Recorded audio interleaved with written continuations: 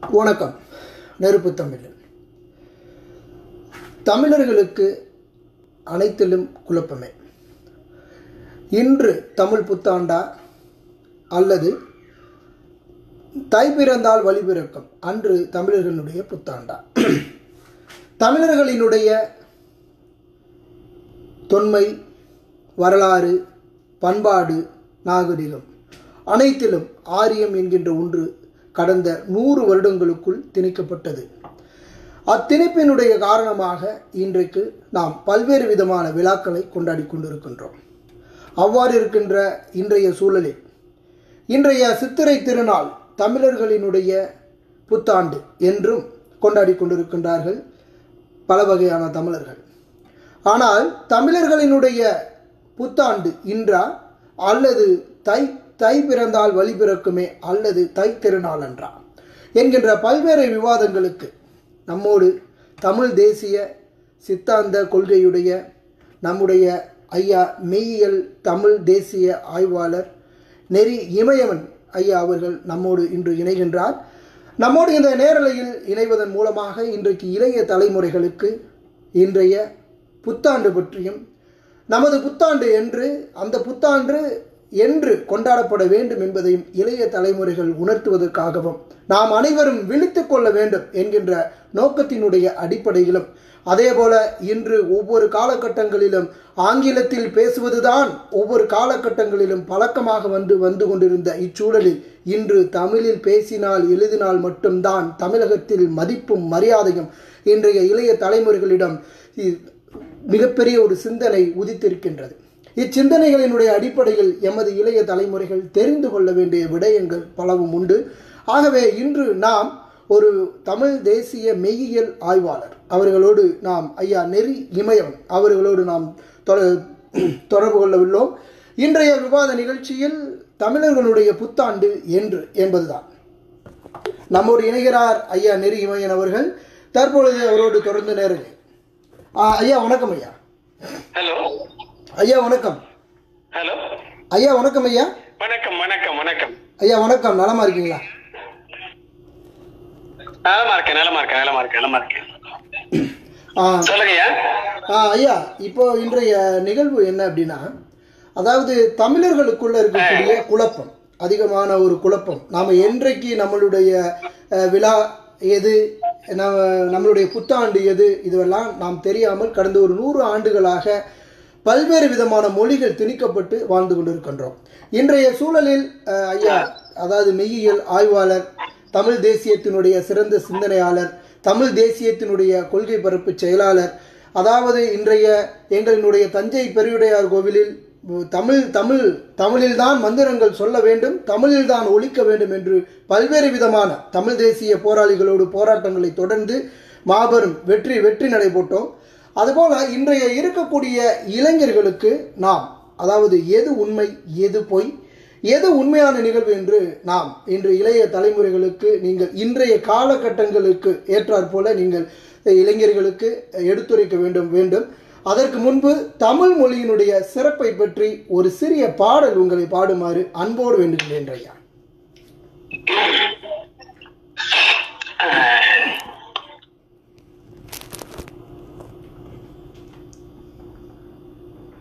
முத்துள்ளாயிரம் என்ற இலக்கியத்தில் மேற்கோளாக வருகின்ற ஒரு பாடல். சரிங்க. மலை முகடுகளுக்கு இடையில் உதிக்கின்ற கதிரவன் கடல் சூழ்ந்த உலகத்தில் வாழ்கின்ற மக்கள் வாழ்கின்ற உலகத்தினுடைய இருளை எப்படி வந்து கதிரவன் போக்குகிறானோ அதுபோல மக்களுடைய உள்ளத்தில் இருக்கின்ற அறியாமையை போக்குவதில் கதிரவனை அப்படின்னு ஒரு புலவர் பாடுறாரு. அதை வந்து முத்துள்ளாயிரத்துல மேற்கோள் பாடலாக உரை விளக்கத்துல எடுத்து கையாண்டிருக்கிறார்கள். இதனுடைய பொருள் இதுதான். சரிங்க. ஓங்களிடை வந்து ஓங்கல் என்றால் மலைமுகடு. ஓங்களிடை வந்து உயர்ந்தோர் தொழ விளங்கி எங்கொலி நீர் ஞாலத்து இருளகற்றும் ஆங்கவற்றுள் மின்னே தனியாழி எங்கதிரோன் ஒன்று ஏனையது தன்னே இல்லாத தமிழ்.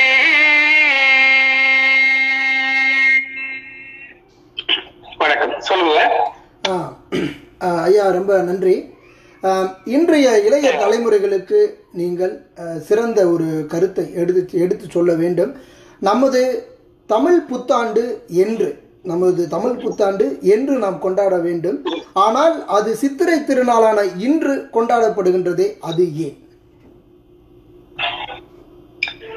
அது பிற்காலத்திலே கால மாற்றங்களினால் அது இது போல் ஆகி இருக்கிறது சரிங்க வானியலை வந்து உலகிற்கு மிக தெளிவாக கொடுத்தவர்கள் வந்து உலகத்தில் தமிழர்கள் தான் ம். தமிழர்களிடத்திலே இருந்துதான் வானியல் எகிப்துக்கு சென்றது எகிப்திலே இருந்து பிறகு கிரேக்கத்துக்கு சென்றது. தமிழகத்திலே இருந்த மெய்யியல் அறிஞர்களை பார்க்கின்ற பொழுது எல்லாவற்றிலும் வானியலை மையமாக வைத்து வைத்தே தமிழர்களுடைய வாழ்வியல் நிகழ்வுகள் எல்லாம் இருந்திருக்கிறது. ஆசீவகம் என்ற மெய்யியல் கோட்பாட்டில் பார்க்கின்ற பொழுது அந்த துறவியர்கள் எல்லாம் மிக ஆழமாக அந்த விண்ணின் கோள்களை பற்றியெல்லாம் உடுக்கணங்களை பற்றியெல்லாம் ஆய்ந்திருக்கின்றார்கள். வடக்கில் என்ன சொல்லுவார்கள் என்றால் அந்த காலத்துல கண்ணாடி கிடையாது ம் கண்ணாடி இல்லாமல் எப்படி விண் கோள்களை எல்லாம் ஆய்வு செய்ய முடியும் என்று கேட்பார்கள் ஆடி வேணும் ம் ஆடி இருந்தால்தான் பெருக்கி உருவத்தை பெருக்கி காட்டுகின்ற ஆடி இருந்தால்தான் அதையெல்லாம் ஆய்வு செய்ய முடியும் ம் ஆனால் அவர்கள் எல்லாம் எப்படி பழந்தமிழ் மக்கள் அதை கண்டார்கள் என்றால் ஓடைகளில் தண்ணீர் இருக்கின்ற பொழுது குளக்கரையில் தண்ணீர் இருக்கின்ற பொழுது ஒரு குறைந்த அளவு ம். அதாவது ஒரு ஒரு அடிக்குள்ளாக ம் தலை மூழ்குகின்ற அளவு அந்த தண்ணீருக்குள்ளே அவர்கள் மூச்சை கட்டிக்கொண்டு படுத்து ம் தண்ணீரின் வழியாக வானத்தை அவர்கள் பார்ப்பார்கள் ம் அப்படி பார்க்கின்ற பொழுது அவர்கள் விழிகளுக்கு மேலே இருக்கின்ற தண்ணீர் உருப்பெருக்கி காட்டுகின்ற ஆடியாக செயல்பட ம் வானத்திலே இருக்கின்ற உடுக்கணங்களை பற்றியெல்லாம் கோள்களை பற்றியெல்லாம் அவர்கள் ஆய்வு செய்திருக்கின்றார்கள் ம். ஒன்று மற்றொன்று புலன்களை எல்லாம் ஒடுக்கி புலன்களை எல்லாம் ஒடுக்கி அகமனத்தால் அப்படி அகமனம் ஆழ்மனம் என்ன செய்யும் பரவெளியோடு தொடர்பு கொள்ளும் அது பழந்தவர்களுடைய ஓக முறை பரவெளி என்பது பரபஞ்சம் பிரபஞ்சம் என்று மாற்றி சொல்லுவார்கள் வடமொழியில ம் பரபஞ்சம் பரம் என்றால் உயர்ந்த என்று பொருள் ம் இப்ப வீட்டுல பழனியில தட்டுமுட்டு சாமான் கிடக்கும் அம்மா சொல்லுவாங்க "அதை ஏறி பழனியில இருந்து எழுதா அப்படிம்பாங்க. பரன் என்றால் உயர்ந்த.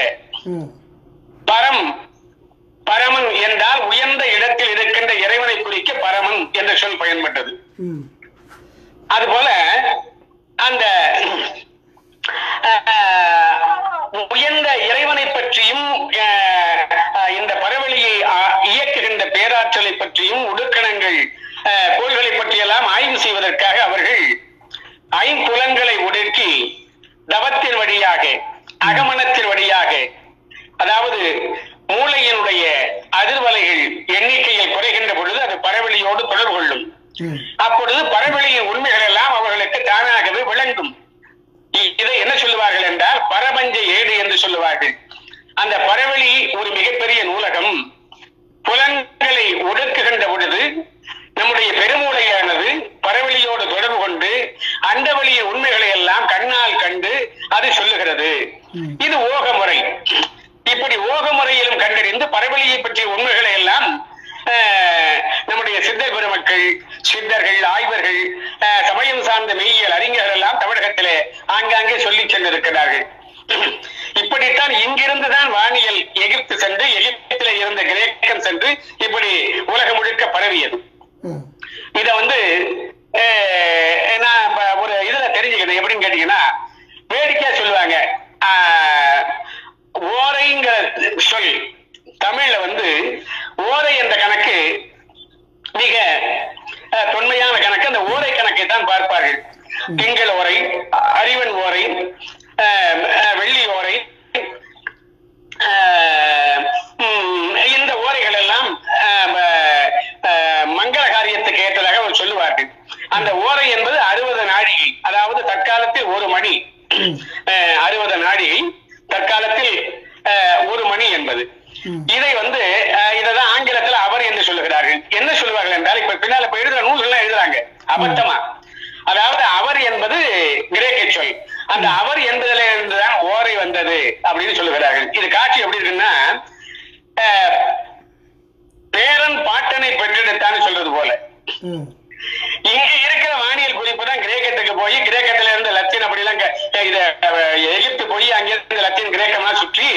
அந்த ஓரை என்பதுதான் அவர் என்று மாறி இருக்கிறது இன்னொரு ஒரு விளக்கம் கூட நான் சொல்ல முடியும். இப்ப ஒரு நாற்பது ஆண்டுக்கு முன்னாடி டூ வீலர் ஒண்ணு வந்துச்சு. அதுக்கு வந்து அது லூனான்னு ஒண்ணு சொல்லுவாங்க அதை வந்து ம். அத பாரு என்ன இப்படி பேரை சொல்லும் போது அதை யாரோ சொன்னாங்க. எனக்கு வந்து லூனார்னா கிரேக்கத்துல சந்திரன் அப்படின்னு பொருள் அப்படின்னு சொல்லி சொன்னாங்க. இது எப்படி வந்திருக்க முடியும்? சந்திரன். சந்திரனுக்கு லூனார்னு பேர். கிரேக்கத்துல. சந்திரன்ல வந்து பிற்கால சொல் தமிழ்ல என்ன அதுக்கு? பேருன்னு பார்க்கும்போது நிலவு. இந்த நிலவுங்கிறது தான் பெருக்கல் முறையில லூனான்னு மாறி இருக்கு. இங்க இருந்து அப்படி உலகம் எல்லாம் சுத்தி கிழக்கெல்லாம் போய் லூனான்னு மாறி இருக்கு. நிறைய ஏராளமான சொற்களை சொல்லலாம். அதாவது லத்தீன் கிரேக்க ரெண்டு இணைஞ்சதான் பெரும்பகுதியாக இணைந்ததுதான் இது வந்து ஹிப்ரு. இதெல்லாம் சேர்ந்த கலவை தான் வந்து ஆங்கிலம். அதனால ஆங்கிலத்துல இருக்கிற நிறைய சொற்களுக்கு வேறு மூலம் தமிழ்ல தான் இருக்கும். இப்ப நீங்க வந்து ஒரு உதாரணம் சொல்லணும் ஆர்கனைசர் அப்படின்னா என்ன? ஒருங்கிணைப்பாளர். ஒருங்கிணை. ஒருங்கிணை. ஆர்கனை. ஆர்கனைசர். இப்ப வந்து ஒரு உதவிக்கு ஒரு வேலை ஒரு- ஒருத்தர் வயரிங் பண்றாரு. ஒரு அவர் இதா கேட்பாரு ஆமரை எடும்பாரு இத புடியும்பாரு. எடுன்னு கேட்கறத எடுத்து கொடுக்கணும். அவர் கொடுக்கறத வாங்கி கீழே வைக்கணும். அதுக்கு எடுத்தல் பிடித்தல். அதுக்கு என்ன பேரு? எடுபடி.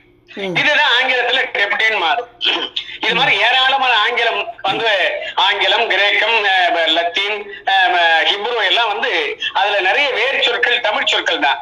அதனால இந்த அஸ்ட்ரானமி வானியலை பார்த்த பொறுத்த வரைக்கும் தமிழகத்துல இருந்துதான் இந்த வானியல் குறிப்புகள் எல்லாம் உலகம் முழுக்க பரவி இருக்கிறது. முன்னூற்றி அறுபது பாகை. இந்த கணக்கு இந்த கணியம் எல்லாம் தமிழருடைய தமிழகத்தில் இருந்த கணியர்கள் உருவாக்கிய வானியல் குறிப்புகள் தான். அதுலதான் இந்த வந்து ஆண்டு கணக்கை குறிப்பிடுகின்ற பொழுது என்ன செய்கிறார்கள் அப்படின்னா சொல்லுங்க. சொல்லுங்க தாங்கள் வாடுகின்ற இடத்தில் அதாவது இரண்டு இயக்கம் உண்டு. தினந்தோறும் கிழக்கிலிருந்து மேற்காக கதிரவன் சொல்லும் செல்லும். மற்றொன்று ஆறு மாதம் வடக்கு நோக்கி செல்லும் ஆறு மாதம் தெற்கு நோக்கி செல்லும்.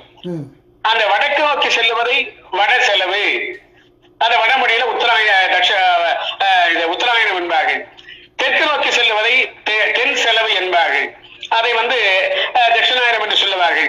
பழந்தமிழ் வந்து வட செலவு தென் செலவு.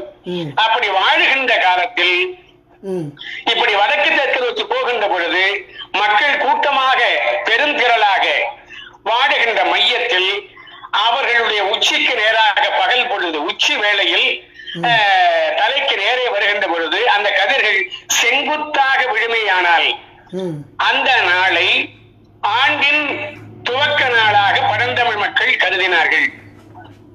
இது முழுக்க முழுக்க வானியல். அப்படி ஒரு காலத்துல வந்து இலக்கியங்கள்ல பார்க்கிற பொழுது என்ன கிடைக்குதுன்னா தை மாதம் தான் கிடைக்கின்றது.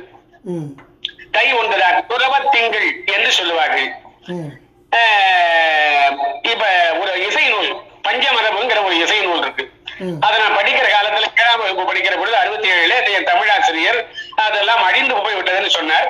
பின்னால வந்து அந்த நூல் கிடைக்க பெற்று பெற்று இன்றைக்கு உலகத்திலே கிடைத்திருக்கிறது நமக்கு அந்த பழந்தமிழ் இசை இலக்கண நூல் பஞ்சமரபு அறிவனார் இயற்றிய பஞ்சமரபுங்கிற நூல். அந்த நூல்ல பண்பெயர்ப்பு முறையை சொல்ல வருகின்ற பொழுது பனிரெண்டு ராசிகளை கொண்டுதான் பிரித்திருக்கின்றார்கள். அந்த பனிரெண்டு ராசிகளை கொண்டு பண்களை உருவாக்குகின்ற பொழுது முதல்ல ஆண்டு துவக்கம் என்று வருகின்ற காலத்தில் அவர்கள் அங்கே சுரப திங்கள் தை மாதம் ஒன்றாம் நாள் என்று துவங்குகின்ற ஒரு பாடல் ஒரு அஹ், வானியல் நூல். அதற்கு சினேந்திர மாலை என்று பொருள். அதை எல்லாரும் சமண நூல் என்று சொல்லுவார்கள். அது சமண நூலாக இருக்க வாய்ப்பில்லை. என வானியலை அதிகமாக ஆய்ந்தவர்கள் ஆசீவகர்கள். ஆசீவக துறவிகள் எழுதிய நூலாகத்தான் அது இருக்க முடியும். சினேந்திர மாலை. அந்த சினேந்திர மாலையில இருக்கிற ஒரு வெண்பா ஒரு பாடல் அஹ், திங்களில் அஹ், தை மாதத்தில் ஆண்டு துவங்குவதாக நமக்கு காட்டுகின்றது. அதுபோல தற்கால இலக்கியத்தில பார்க்கின்ற பொழுது பழந்தமிழ் நூல்களில் அஹ், தை மாதம் ஒன்றுதான் இப்ப தை பிறந்தால் வழி பிறக்கும் என்று சொல்லுவார்கள். இரண்டு விழாவை பழந்தமிழ் மக்கள் கொண்டாடுவார்கள். அது என்ன என்றால் ஆற்றிலே தண்ணீர் வருகின்ற திருநாள். அதாவது ஆடி பெருக்கு என்று சொல்லுவார்கள். அந்த தண்ணீர் வருகின்ற திருநாள். அதைத்தான் ஆடி பதினெட்டு என்று நாம் கொண்டாடுகின்றோம். இதே போல ஆடி மாதத்தில் பதினெட்டாம் நாள் எகிப்திலே நைல் நதி தீரத்தில் இரண்டு அருவிகள் இருக்கிறது. அங்கு இருக்கின்ற மலைவாழ் மக்கள் ஆடி மாதம் பதினெட்டாம் நாள் என்று அவர்கள் அங்கே வழிபாடு செய்கிறார்கள். அந்த இரண்டு அருவிகளுக்கு என்ன பெயர் என்றால் சிவம் சக்தி என்று பொருள். இரண்டு அருவிகள் எகிப்திலே உண்டு. இது போல இந்த ஆடி தண்ணீர் வருகையை கொண்டாடுவது பிறகு வேளாண்மை உழவு செய்து விதை விதைத்து நீர் பாய்ச்சி பயிர் வளர்த்து கதிர்களை அறுவடை செய்கின்ற அறுவடை திருநாளாகிய தை ஒன்று. அந்த அறுவடை திருநாளாக இந்த உலகத்தில் கொண்டாடினார்கள். அந்த அறுவடை திருநாள் பரந்தமிழகத்திலே ஆண்டு முதலாக இருந்திருக்கிறது.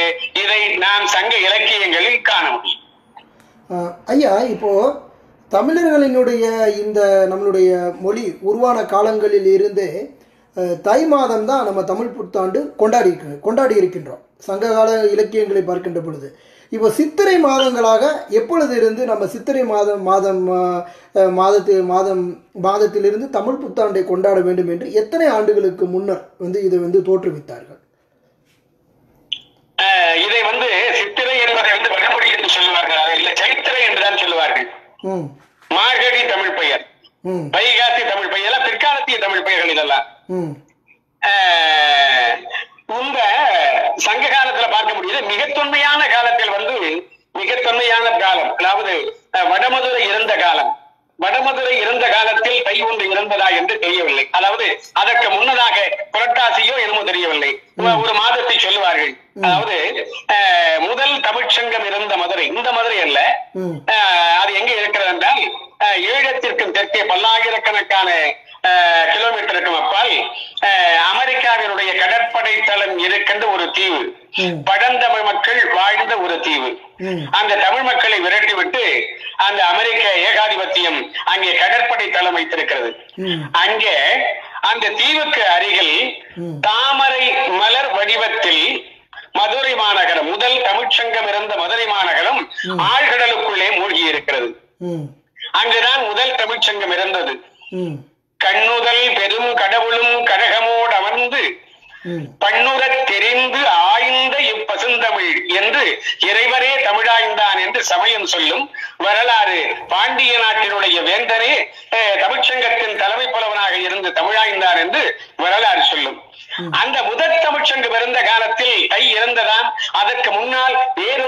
இருந்ததாக சொல்லப்படுகின்றது.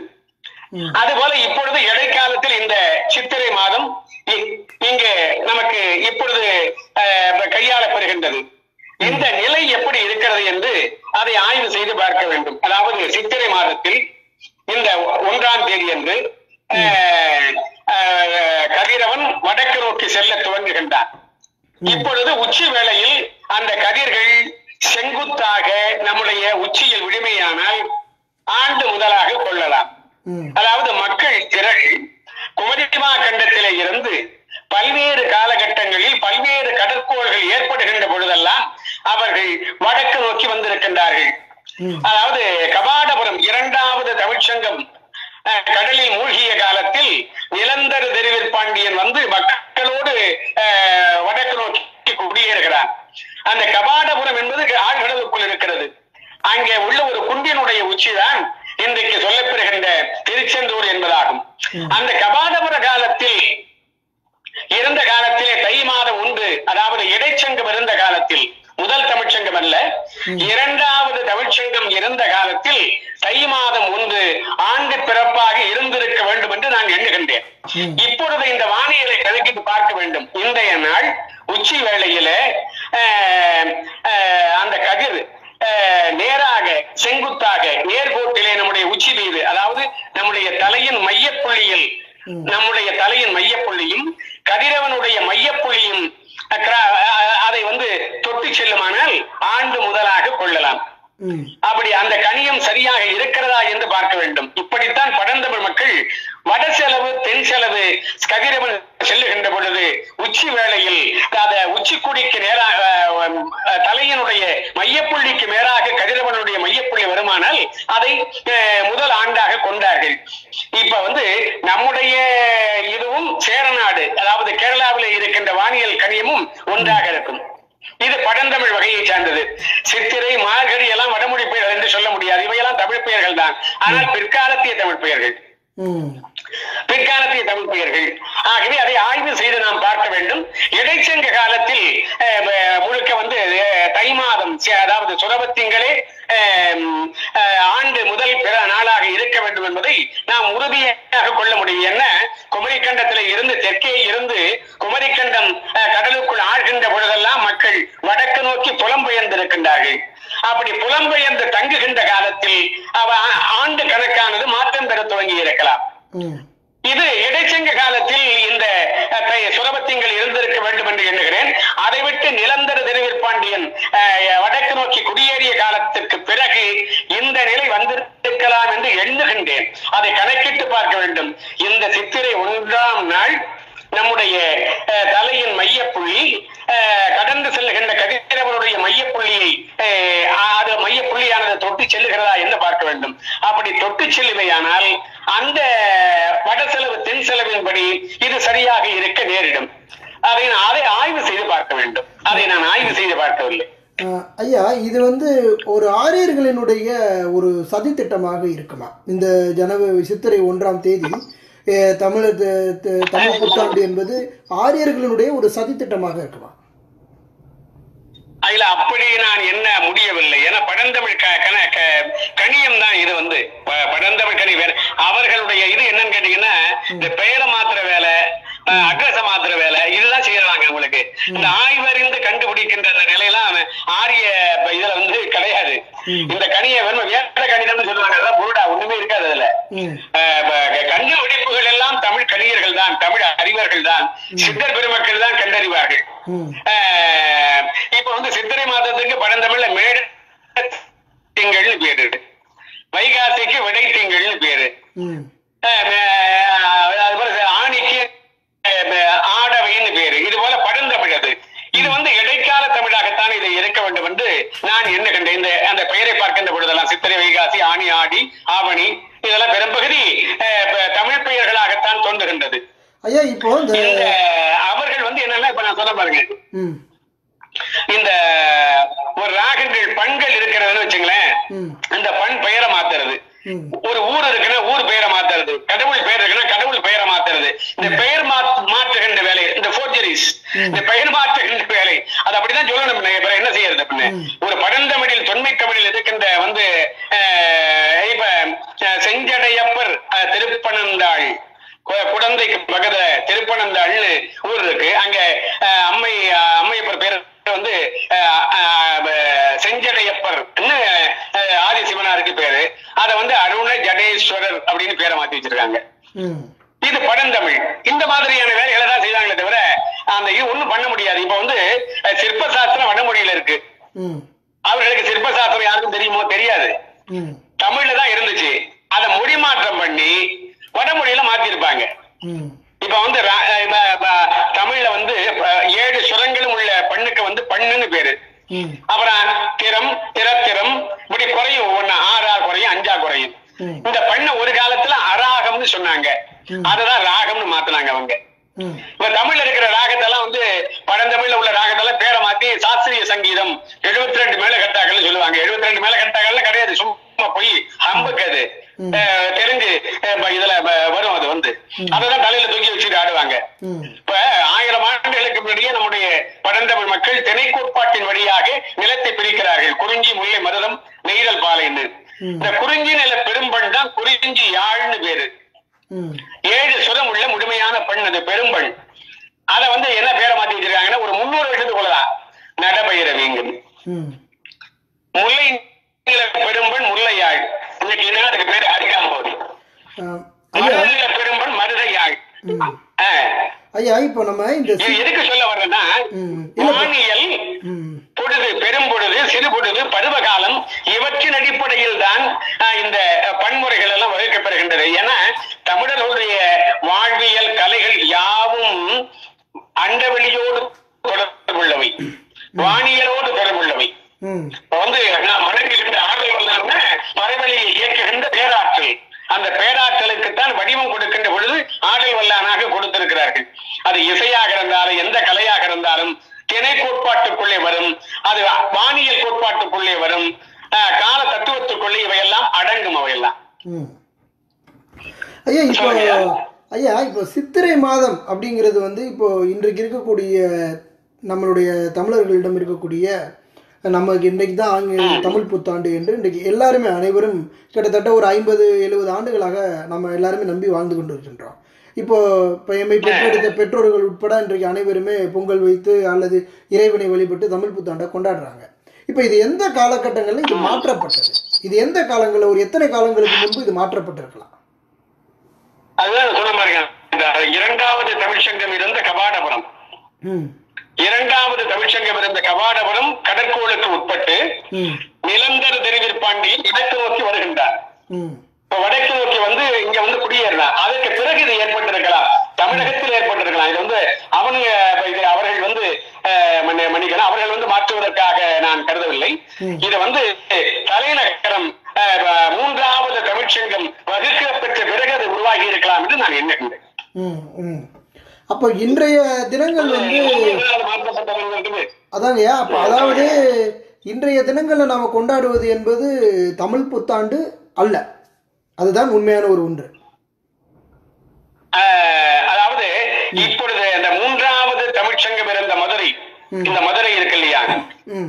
இந்த மதுரைக்கு மூன்றாவது தமிழ்ச்சங்கம் அமைந்த பிறகு இந்த நிலை உருவாகி இருக்கலாம். அந்த என்று நான் எண்ணுகின்றேன் கமாடபுரம் இரண்டாவது தமிழ்ச்சங்கம் இருந்த காலத்தில் தை ஒன்று அதாவது பகுருளி ஆறு பகுருளி மலையெல்லாம் இருந்தது பாருங்க. பகுருளியாற்று பன்மலை எடுக்கத்து குமரி கோடும் கொடுங்கடல் கொள்ள. குமரி மலை பகுருளி மலை இருந்த காலம். அப்பொழுது தை ஒன்றாக இருந்திருக்க வேண்டும். அதற்கு முன்னதாக கபா முதல் மதுரை. தென்மதுரை அதாவது கிகோகாட்சியா தீவுக்கு அருகே கடை ஆழ்கடலுக்கு மூழ்கி இருக்கின்ற பொழுது அங்கே தை ஒன்றாக இருந்திருக்க வாய்ப்பில்லை வேறு மாதமாகத்தான் அங்கே இருந்திருக்க வேண்டும். அதாவது வட செலவு தென் செலவில பழந்தமிழ் மக்கள் அந்த கண்டங்கள் பிறர்கள் ஏற்படுகின்ற பொழுது குமரிக்கண்டம் கடல் கடலுக்குள்ளே வாங்குகின்ற பொழுது அந்த முதல் தமிழ்ச்சங்கம் இருந்த காலத்தில் ஒன்று இடைச்சங்கம் கபாடபுரத்திலே ஒன்று மூன்றாவது தமிழ்ச்சங்கத்திலே ஒன்றாக இப்படி வந்து ஆண்டு கணக்கு மாறி இருக்க வாய்ப்புண்டு. இதை ஆரியர்கள் மாற்றியதாக நாம் கொள்ள முடியாது. இதை வந்து கொள்வதற்கு தே- அப்படி தோன்றவில்லை. ஏன்னா இப்படித்தான் கணக்கிட்டு இருக்கிறார்கள் அந்த ஆண்டு கணக்கை வாடுகின்ற இடத்தில் இப்ப வந்து மக்கள் குமரிக்கண்டத்துல முதல்ல வாழ்ந்த காலத்துல அவர்களுக்கு மையப்புள்ளி எதுன்னா தென்மதுரை. ம். இரண்டாவது காலத்தில் வாழ்ந்த காலத்தில் மையப்புள்ளி எதுன்னா கபாடபுரம். ம். அதற்கு பிறகு அவர்களுக்கு மையப்புள்ளி என்ன இந்த இப்ப மூன்றாவது மதுரை. இதை மையமாக வைத்துத்தான் இது உருவாக்கப்பட்டிருக்க வேண்டும் என்று நான் எண்ணுகின்றேன். ஐயா இப்போ இன்றைக்கு இருக்கக்கூடிய ஐயா இப்போ இன்றைக்கு இருக்கக்கூடிய சூழல்ல மக்களை வந்து இன்றைக்கு சித்திரை திருநாளான முதல் நாளான இன்று நமது புத்தாண்டு அல்ல என்பது என்பது எப்படி நம்ம வந்து அவர்களுக்கு உணர்த்த முடியும்? எப்படி அவர்களுக்கு புரிய வைக்க முடியும்? ஒரு எளிமையான இதை ஆய்வு பண்ணி பாருங்க. நான் இதை அந்த இதுல பாக்க எனக்கு அந்த நுட்பம் தெரியல. இதுல கணினியை பயன்படுத்தி கண்டுபிடிக்க இப்ப வந்து ரேஸ் இந்த பனிரெண்டு மணி அளவுல அந்த உச்சி வேளையில கதிரவனுடைய கதிர்கள் செங்குத்தாக நம் மீது நம்முடைய தலையில் விடுகிறதான்னு பார்க்கணும். அப்படி செங்குத்தாக விழுந்தால் தெரியுங்களா? இது வந்து ஒரு ஒரு பகல் நேரத்துல எப்படி கண்டுபிடிக்கிறதுன்னா ஒரு குச்சியை எடுப்பாங்க. அப்படியே இந்த தரையில நடுவாங்க அந்த நிழல பார்ப்பாங்க. அந்த நெல்லை பார்த்து கணக்கிட்டு இத்தனை நாளைக்குன்னு சொல்லுவாங்க. இதே வந்து போற போக்குல ஒரு பாட்டி சொல்லிட்டு போவோம் அது மாதிரி. அதை அப்படி நட்டு வச்சுட்டு ஓடிய நீளம் தன்னை ஓரட்டு கூறலாக்கி அது இன்னும் இடையில ரெண்டு வரி இருக்கு. நின்றது போக இத நின்றது நாழிகை. அப்படின்னு ஒரு பாட்டி சொல்ல ஒரு ஒரு ஒரு ஒரு குச்சிய ஈர்க்குச்சி அப்படி நட்டு சொல்லும். இது வானியல் டெக்னாமெட்ரி இன்னைக்கு வந்து கிரேக்கத்தினுடைய டெக்னாமெட்ரி ம். இப்ப நம்ம இவர் சொல்றோமே அது என்னது இப்ப பித்தாக்கரஸ் தேட்டம் ஆமாங்க. ஒரு செங்கோண முக்கோணத்தில்.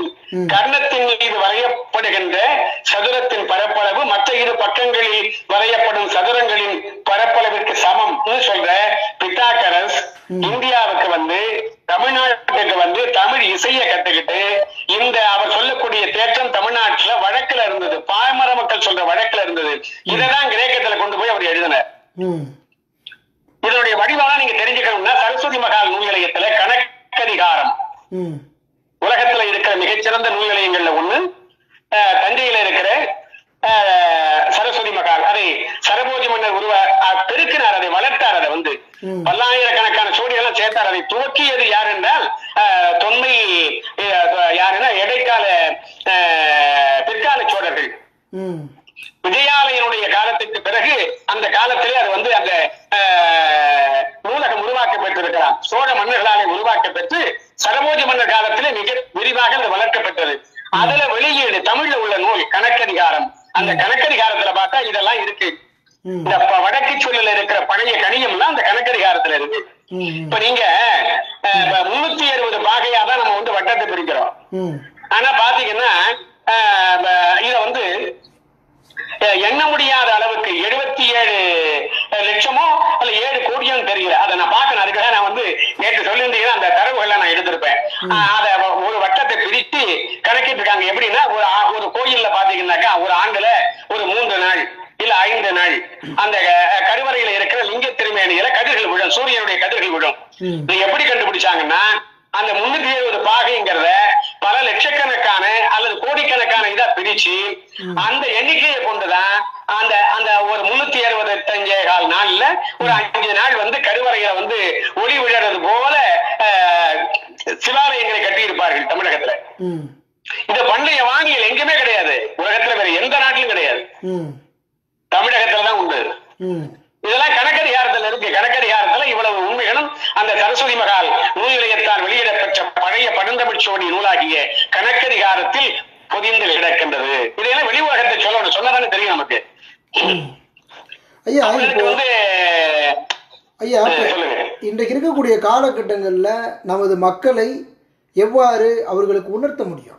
தை திருநாள் தான் அவை என்பதை நம்ம இன்றைக்கு இருக்கக்கூடிய காலகட்டங்களில் மக்களுக்கு புரிகின்ற வகையில் எளிய முறைகளில் நம்ம எப்படி உணர்த்த முடியும்? தை திருநாள் தான் தமிழர்களுடைய புத்தாண்டு தை மாதம் தான் என்பதை எப்படி நம்ம கொண்டு செல்ல முடியும்? அதாவது ஆய்வுகள் ஒரு புறம் இருந்தாலும் எளிமையான முறைகளில் மக்களிடம் நம்ம எப்படி நம்மளுடைய தமிழர்களுடைய இந்த பாரம்பரிய சித்தாந்தங்களை எப்படி கொண்டு செல்வது? இப்ப நாம நடக்கின்ற நிகழ்வுகள் அதாவது இப்ப இப்ப தமிழ் ஆர்வலர்கள் தமிழ் தேசியவாதிகள் அவர்கள் நடத்துகின்ற அமர்வுகள் அரங்கங்கள் இதெல்லாம் பேசுகின்ற பொழுது முதல்ல சொல்லும் பொழுது இதை வந்து நாம குறிப்பிட்டு அந்த மேடைகள்ல வைக்கிறோம். அது இளைஞர்கள்ட்ட போகணும் முன்னாடி. தமிழ் தேசிய இளைஞர்கள்ட்ட போகணும். அதன் வழியா மக்கள்கிட்ட பரவணும் அது போல. அந்த உணர்வை நாம கொண்டு வரணும். நான் கூடுமான வரைக்கும் அந்த இதை சொல்றது. இதை எனக்கு இப்ப இப்ப எதுவும் அந்த அரங்கங்கள் இல்லாததுனால சொல்லலை. இல்லைன்னா இதை ஒரு இதை முடங்கிட்டேன் இல்லைன்னா இந்த ஒரு காணொலியை கொடுத்திருக்கலாம். எடுத்து இது பண்ணி அந்த இவனை கொடுத்திருக்கலாம். அதை மிக எளிமையாக பரப்ப முடியும். செய்யலாம். அதை நிச்சயமாக செய்ய முடியும். தமிழருடைய திருநாள் அப்படின்னா பொங்கல் திருநாள் எப்படி நாம சொல்றோமோ அதுதான் இதையும் சொல்லி சொல்றதுக்கு நமக்கு என்ன ஆக போகுது? நம்ம வந்து பக்தவச்சலம் நினைக்கிறேன். முதலமைச்சரா இருந்த காலத்துல காங்கிரஸ் கட்சியினுடைய காலத்துல தமிழகத்தினுடைய தேசிய விழாவாக பொங்கல் திருநாளை கொண்டாட வேண்டும் என்று எல்லை போராட்டத்தை தமிழகத்தினுடைய எல்லை போராட்டத்தை நடத்திய அதாவது தமிழகத்துக்கு சென்னை அதுபோல திருத்தணி கிடைப்பதற்கு காரணமாக இருந்த சிலம்பு செல்வர் அவர்கள் தலையை கொடுப்ப கொடுத்தாவது தலைநகரை காப்பேன்னு முழக்கமிட்டு போராடினார் தமிழ்நாட்டுல எந்த திராவிட தலைவர்களோ தேசிய தலைவர்களோ யாருமே கொண்டாடல. அதுபோல தெற்க நேசமணி இறந்ததுனால தென்பகுதி மாவட்டம் கிடைச்சது கன்னியாகுமரி. அந்த சிலம்பு செல்வர் தான் போராடி கேட்டு பக்தவச்சலம் காலத்துல தமிழ் தேசிய விழாவாக பொங்கலை கொண்டாட வச்சார். அந்த பக்தவச்சலம் காலத்துக்கு பிறகு தமிழ் தமிழ் என்று ஆட்சிக்கு வந்தவர்கள் இன்னை வரைக்கும் கொண்டாடலையே?